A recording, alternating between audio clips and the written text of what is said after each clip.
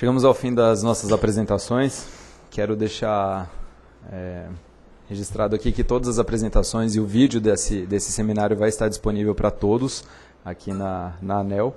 E gostaria de chamar agora para compor a mesa, para a nossa sessão de, de perguntas e, e comentários, o superintendente da SCR, Alex Feio, o diretor global de regulação do Grupo Iberdrola, Julio Castro, o especialista em regulação da ANEL, Marco Aurélio Castro.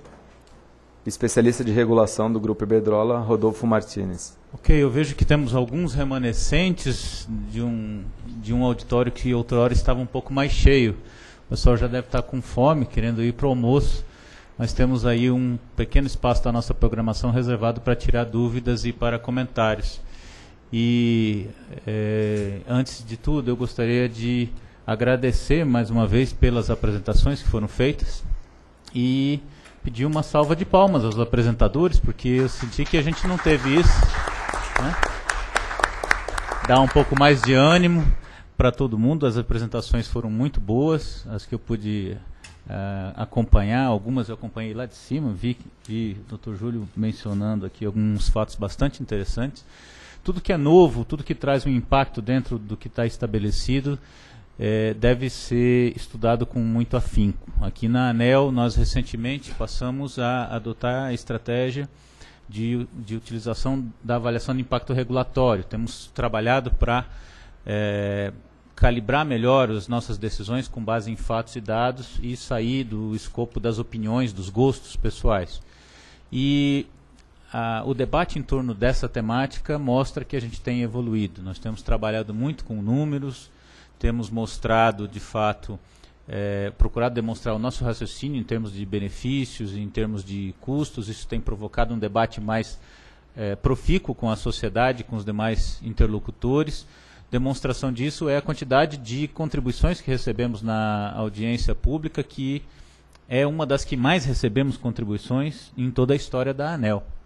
Ela ela, eu diria que está entre os top 3, eu acho, se eu não me engano, sendo que a resolução 414, que trata dos direitos e deveres dos consumidores, é a nossa campeã até o presente momento e não poderia deixar de ser. Bem, nós temos um espaço agora reservado para perguntas e para saneamento de dúvidas, então eu gostaria de franquear a palavra, quem assim desejar, temos microfones aqui circulando, é só levantar a mão, já temos ali uma pergunta. Eu peço que se identifique, porque estamos gravando, okay. e direcione a pergunta a quem desejar. Meu nome é Wellington, eu trabalho na SFG. Na realidade, a minha fala não é de, de pergunta, não. É uma sugestão para futuro debate. Foi falado aqui, a gente já conhece, que a questão de armazenamento de energia por baterias em questões residenciais é inviável pelo alto custo.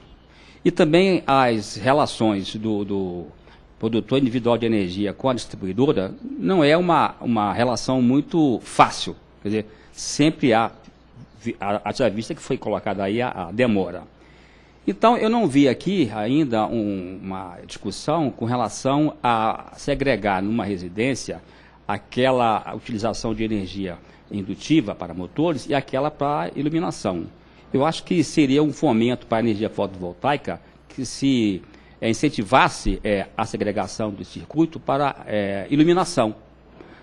Não teria uma, uma interface com a, a distribuição e teria alguns circuitos é, privativos para a iluminação.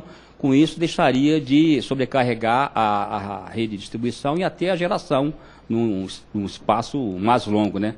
Não sei se eu fui claro no meu posicionamento, mas, é, repetindo, eu não vi até agora um incentivo a é, o aproveitamento da energia solar que nós temos em abundância para a geração específica de iluminação residencial.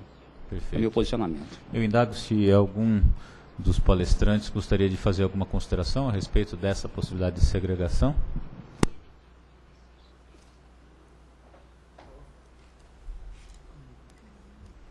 Marco Aurélio. Eu não sei se precisaria ter uma, um incentivo para isso. Para mim seria uma decisão, poderia ser uma decisão do, do proprietário, do se ele entender assim, ele precisa ele precisa, de confiabilidade, precisa de potência, precisa de energia reativa ali, ou da inércia do sistema, ele usa a rede, ele poderia segregar, o projetista, o, o engenheiro poderia fazer isso. Não sei se é, precisaria de uma política pública ou de uma resolução para fazer isso. Porque essa é uma decisão do, do consumidor, né? Eu não, mas eu entendo que o consumidor pode fazer isso, tá?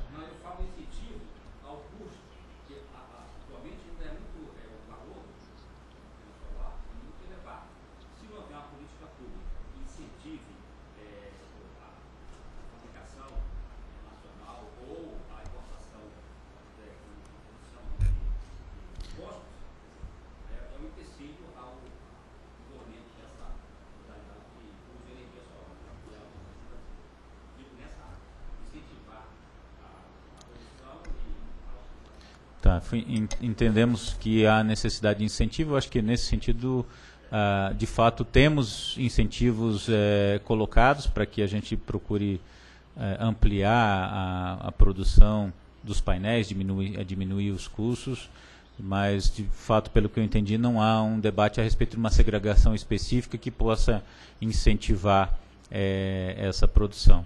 Tá? Temos mais uma pergunta lá em cima. Eu vou pedir que as perguntas sejam de fato feitas no microfone, os comentários também, por, por conta da gravação. E também para facilitar o trabalho da tradução, que fica muito complicado, porque eles não conseguem escutar se não tiver dentro do microfone. Meu nome é Rodrigo, sou da auditoria interna aqui da ANEL. É, como sabemos, foi elencado durante a palestra que um dos, dos pilares com relação à microgeração, ela passa pela questão de inovação no, em termos de equipamentos para redução de custos altamente é, elevados e, de certo modo, impeditivos ao avanço é, da microgeração. É, no modelo brasileiro de recursos voltados a pesquisas e desenvolvimento, como sabemos, existe a obrigação legal é, de os agentes do setor elétrico, geradores, distribuidores, investirem um certo percentual da, da receita operacional líquida anual em pesquisa e desenvolvimento no Brasil. Cerca varia conforme a espécie de agente, todavia, em cerca de 40% desses recursos vão para o Fundo Nacional é, de Desenvolvimento Tecnológico do país, cerca de 20% são direcionados ao Ministério de Minas e Energia, e 40%, ao ponto que eu chamo a atenção disso, fica na mão dos próprios agentes do setor para, de acordo com o seu interesse em em desenvolvimento tecnológico, fazer os investimentos e cabe à ANEL fiscalizar esses investimentos. Percebe-se um nítido conflito de interesse, porque, como sabemos, a, a microgeração, como foi colocada aqui, ela não é de muito interesse dos agentes de geração e de distribuição de energia elétrica por uma série de fatores.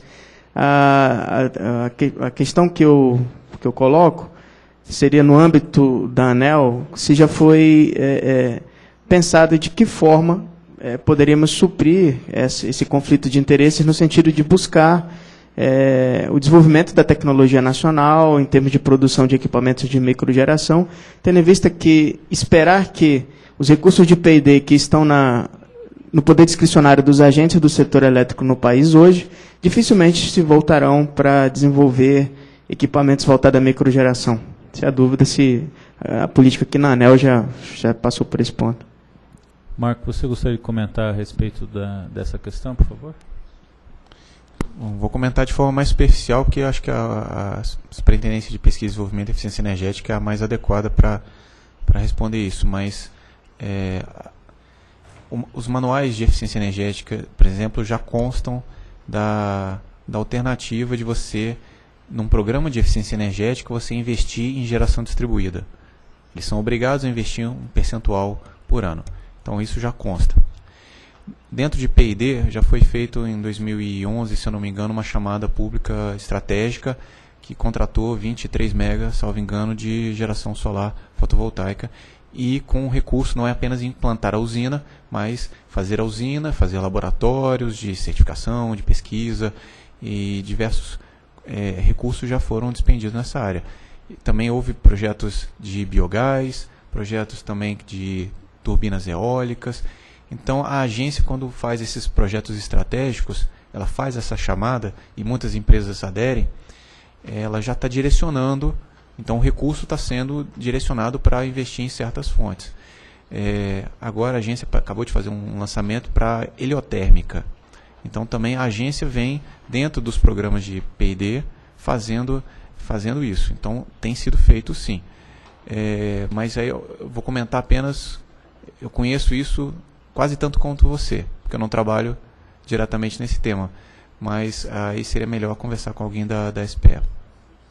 Depende se alguém quiser comentar, se o, se o Fabiano de repente quiser comentar aqui da, da Grupo Neo Energia, poderia melhorar. Não, só é, complementando, né, o, eu posso falar pelo, pelo grupo Neo Energia, mas existem outros grupos que, independente desse estímulo né, que tem sido feito pela área do, do máximo, né, de planejamento, do, tanto do PID quanto eficiência energética, os grupos têm investido. Né? Então, um exemplo clássico, a, o estádio de Pituaçu e é, Fonte Nova, enfim, vários estádios que a gente está implantando projetos grandes de, de painéis fotovoltaicos, né? justamente visando estimular, acelerar o processo de desenvolvimento da tecnologia. E mais recentemente em Fernando de Noronha, né, que é da área de concessão da CELP, e que 10% hoje da ilha já está atendido com, com fonte, pela fonte fotovoltaica. Então, realmente, é, existem né, algumas dificuldades e que a gente aqui explicitou, mas não obstante essas dificuldades, as empresas têm investido e acreditado na, na fotovoltaica. E a fotovoltaica, ela não só para o alto consumo, né, mas também como produção independente, né, que nos interessa. Participamos dos leilões e, e nessa questão da produção independente acabou não sendo comentado, mas um, um, um, item também importante assim de possível avanço na regulamentação, que acredito que a ANEL também tenha uma, uma sensibilidade, é aumentar a flexibilidade das distribuidoras poderem comprar diretamente, não só nesses leilões nacionais, mas leilões locais, né? energia renovável, não só é, fotovoltaica, ou seja, geração distribuída, né? efetivamente, porque você traz uma economia de, de adia investimentos na rede. Então você pode otimizar a rede. Né? E hoje isso não é possível, porque as distribuidoras participam dos leilões e não escolhem aonde vai ser a, a, usina. Né? Então, se, se ampliasse essa flexibilidade, existe a possibilidade do leilão local, mas ele fica limitado ao valor hoje do VR, né, que é o resultado desses grandes leilões e inviabiliza. Isso é um assunto que transcende, né, a, a, é, vai além da área de atuação da ANEL, mas é um item já pontuado e bem importante. Então, as distribuidoras elas, elas têm interesse, sim, efetivamente têm investido em, em projetos fotovoltaicos e de, de, outras fontes renováveis. Perfeito. Doutor Júlio Castro, gostaria de comentar a respeito dessas considerações?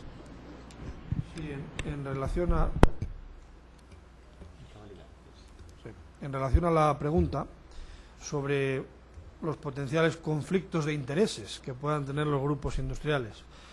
Eh, una empresa energética que actúa en toda la cadena de la energía, desde la producción hasta la distribución y la comercialización, no puede tener ningún conflicto de intereses. Eh, la sociedad evoluciona como quiere.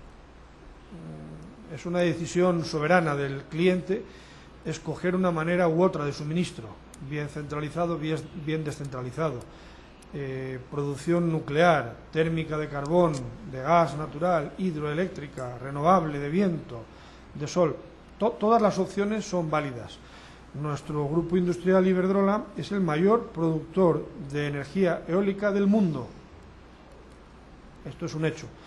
Y es una eh, palanca de crecimiento. Las inversiones eh, van muy bien en muchos países, rentabilidad, las acciones en la bolsa van bien. Entonces, no, no, no, hemos visto nunca la energía eólica como un enemigo. ¿Cuál es nuestro mensaje respecto a la producción fotovoltaica o solar? Sea bienvenida, pero hagamos una regulación eficiente. No cometamos errores que se han cometido en otros países, que han empezado antes que nosotros y han promocionado tecnologías que eran de investigación y desarrollo, no eran industriales. Entonces no, se ha aprendido nada. Entonces es un mensaje de prudencia, pero bienvenido sea el sector fotovoltaico y solar. Tan es así que hace dos semanas presentamos el producto Smart Solar, que es único en Europa, todavía no lo hemos presentado en América, y en el cual eh, Iberdrola instala y mantiene los equipos fotovoltaicos que el cliente quiere instalar. ¿Cuáles? Los que quiera. Vamos a presentar una serie de proyectos estandarizados, cuatro o cinco, para no tener una gama de mil y escoger cuál de ellos necesita cada cliente y una vez que lo desea, lo instalamos. Pero, si es posible, huyamos de una regulación que eh, envíe señales económicas equivocadas. Temos mais alguma questão, alguma dúvida, alguma consideração que gostaria de ser feita?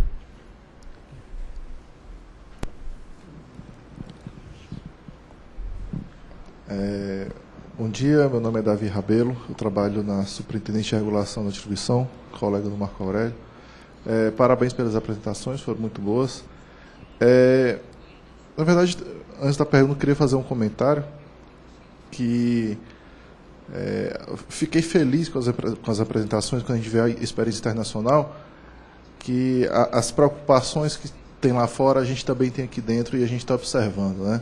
É, a gente não espera que a geração distribuída vá fazer frente a uma geração centralizada, a, a, a, distribuidora, é, ela, salvo casos muito raros, ela não se torna uma, uma opção economicamente viável. Né? É, eu, eu, entendo a visão da Iberdrola de, de querer é, é, equilibrar a balança. Né? Se está sendo muito incentivado algo, talvez de uma forma que não seja racionalmente, é, é economicamente racional, e tornar ela economicamente racional até para, para que a, a tecnologia possa se desenvolver de uma forma mais, mais sustentável. Né? Nos países afora, tanto na Espanha, Estados Unidos ou, ou na Alemanha, é, já saiu do cenário que hoje a gente tem no Brasil, de um incentivo, e passou a tentar equilibrar um pouco mais a balança, dizer assim, olha, é, esse, esse, tipo de usuário também impacta na rede e também ele tem que contribuir, é, dar a contribuição dele para a distribuidora, tem que pagar pelos custos que ele paga na rede. É, se nos casos lá fora é, tem algum, é, é, algum padrão, algum, algum em, em que momento os reguladores lá fora viram que era o momento de sair de, de, um, de uma regulação é, de incentivo para passar um, para um realismo tarifário. Né? Em que momento a Alemanha, a Espanha e alguns estados dos Estados Unidos perceberam que era hora de fazer o consumidor cobrar na rede, é, cobrar pelo uso da rede? Foi, foi, foi reclamação dos outros consumidores? Foi reclamação da, da indústria de petróleo? Foi o impacto na rede estava demasiado? É, é, é, qual foi o principal motivador que, que, que fez essa mudança de postura dos reguladores? Doctor Rodolfo. Sí. Eh, lo que sucede es que el, los costes del sistema tienden a acumularse. Entonces, cuando es poca la penetración de energías distribuidas, el efecto global es pequeño. Eh, una vez que van aumentando, el efecto global empieza a ser importante y las subidas en las tarifas son ya notables y por lo tanto hay una protesta por parte de los consumidores que no entiende por qué suben tanto las tarifas. En el caso de, de España, mmm, la subida de tarifas importante no lo fue tanto por la generación distribuida o por los efectos de, del no pago de algunas eh, componentes de tarifas, sino por las energías renovables se desarrollaron energías renovables a gran escala, fotovoltaica y otras, pero a unos precios que todavía no eran eficientes, lo cual supuso una subida de tarifas precedida por un déficit de tarifa importante que supone una deuda todavía pendiente de recuperar. En Alemania lo que ha habido ha sido un, eh, una preocupación por la competitividad del país. Eh, ante esos precios tan altos de, energía, el, país puede llegar a no ser competitivo. Y, y, el hecho de que recaiga sobre unos clientes y no sobre otros lo que son los costes del sistema, evidentemente eh, se vio por parte de los reguladores que era un efecto regresivo, era una injusticia, era el efecto Robin Hood al revés. Eh, y sin embargo, eh, la realidad es que no existen esos ahorros tan evidentemente reseñados como se suele decir en algunas publicaciones. Aunque instales mucha fotovoltaica en, en distribuida, necesitas todavía la misma red o incluso más. En el caso de España, por ejemplo, la, y en el caso de Alemania también, la punta de demanda se produce en horas nocturnas, donde no hay aportación fotovoltaica. Por lo tanto, tú has de dimensionar las redes para la potencia máxima de consumo. El hecho de que tengas fotovoltaica en las horas diarias, en las horas del día, significa que esa red se usa menos, pero eso no quiere decir que no sea necesaria. Es 100% necesaria en los momentos en los que no hay aportación de energía fotovoltaica. Por lo tanto, ese efecto de subida de tarifa generalizado lleva a los reguladores a, a que esas a, a, que hay que modificar algo porque pequeñas cantidades pasan desapercibidas, pero grandes cantidades ya impactan eh, de forma notable. Ok, eu indago se temos mais alguma pergunta ali. Meu nome é, meu nome é Daniel, também trabalho na Superintendência de Regulação da Distribuição aqui na ANEL. E, em primeiro lugar, parabéns pelas apresentações, obrigado por vocês terem vindo aqui mostrar todo esse conhecimento para a gente. É, vocês comentaram do caso da, da Espanha e da Alemanha, que foram é, iniciaram esse processo de regulação de incentivo à geração distribuída e verificaram a necessidade de mudar as regras do jogo à medida que a penetração foi aumentando. Né? É, eu queria saber, então, se vocês têm conhecimento de como o mercado reagiu a essas mudanças da regra do jogo, tanto na Espanha quanto na, na Alemanha, e vocês têm algum, alguma orientação, alguma recomendação para o regulador, no sentido de que, quando forem necessárias essas modificações na regulamentação, que elas sejam feitas sem gerar uma insegurança regulatória que implique em fuga de investimentos futuros. En el caso de Alemania, no ha habido efectos retroactivos. Las instalaciones ya existentes han permanecido cobrando su tarifa acordada previamente. Por lo tanto, los cambios regulatorios eh, de disminución de los feed-in tariffs y de los apoyos solo aplican a las nuevas instalaciones es un ejemplo de, reducción de costes gracias al volumen. La, producción fotovoltaica, la tecnología fotovoltaica, no ha cambiado sustancialmente mmm, en cuanto a la tecnología en los últimos años. Lo que han cambiado mucho y ha mejorado mucho han sido la, las economías de escala gracias a que el mercado era mucho mayor. Entonces, en el caso de Alemania se produce un efecto de altas altas eh, feed-in tariff para que se produzcan eh, fuertes inversiones, esas fuertes inversiones producen una reducción de los costes, esa reducción de los costes permite abaratar a futuro la situación. Por lo tanto, es un efecto ola que mm, no tiene efecto sobre los nuevos ni tampoco sobre los pasados. Es lo mismo que sucedió con la energía eólica. La energía eólica inicialmente era muy cara en términos unitarios a principios de los años 2000 se pusieron incentivos importantes que llamaron a la inversión, esa llamada a la inversión mejoró la tecnología y posteriormente se pudo reducir los valores de feed-in tariff o de pagos o de primas para las futuras. Por lo tanto, la clave es que no es una cuestión de que sea distribuida o no distribuida. La clave es que tenemos que conseguir mejoras tecnológicas. Y en el caso de la fotovoltaica, en, el caso de la eólica, ya ha llegado a unos niveles mmm, de tamaño y de eficiencia que probablemente no puedan mejorarse mucho.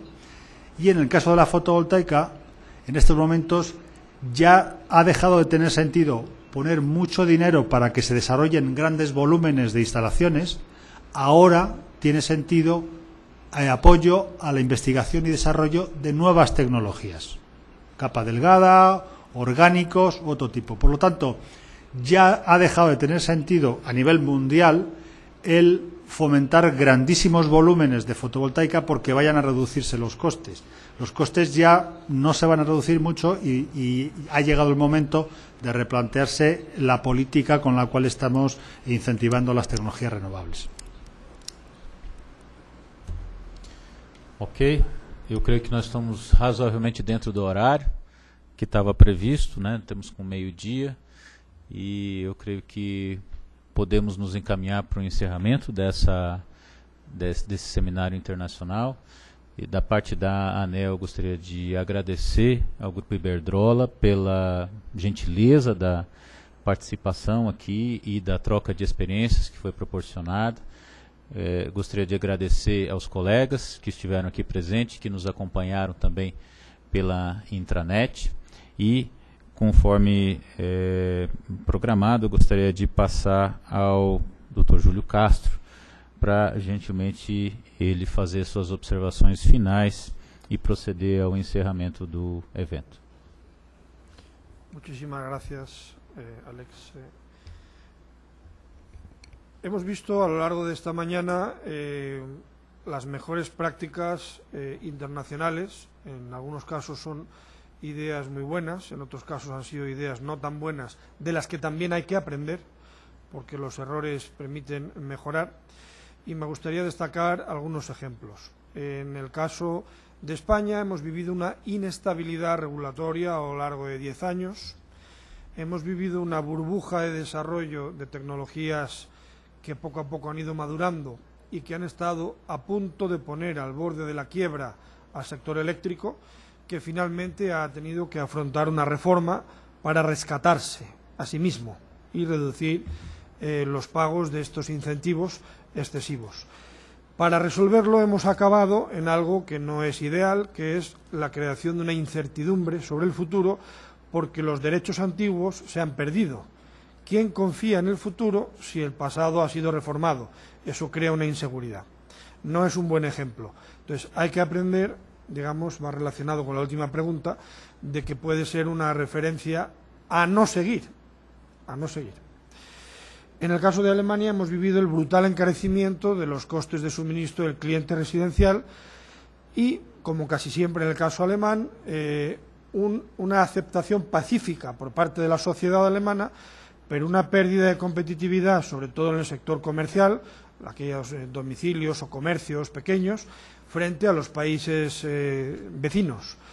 Eh, esto está afectando gravemente a la posibilidad de creación de riqueza y en otro país eh, vecino de Alemania, el Reino Unido, acaban de afrontar hace un mes una reforma de las primas a pagar, de los subsidios a pagar a determinada producción renovable, entre ellas la solar residencial.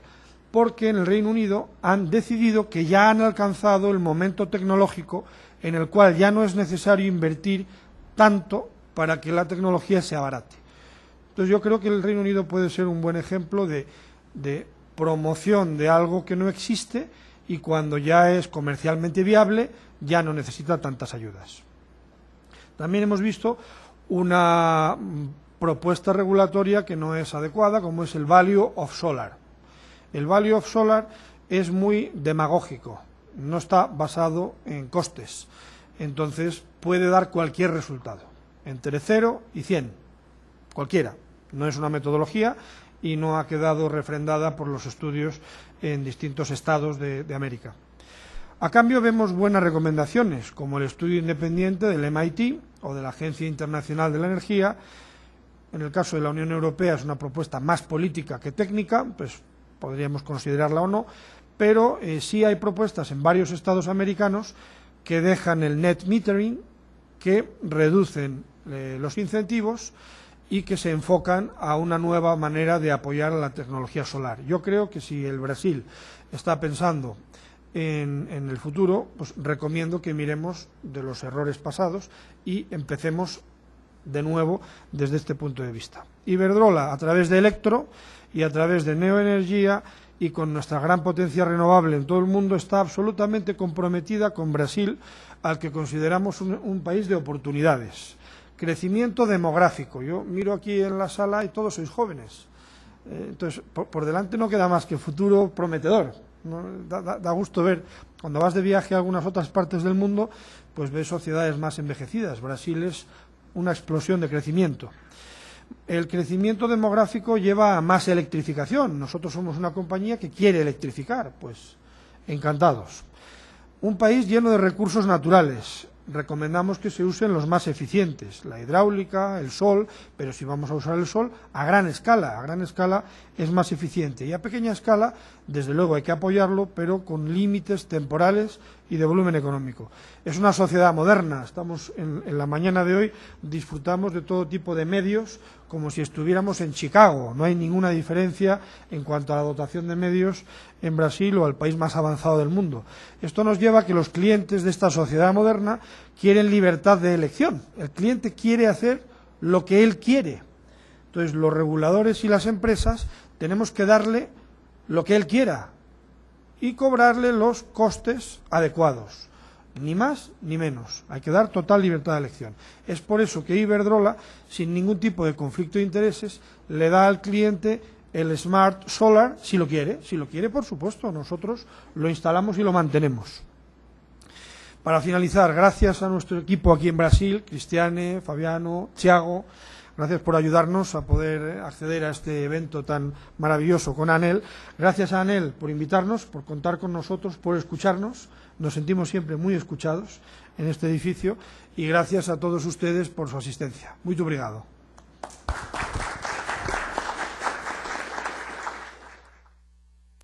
A todos.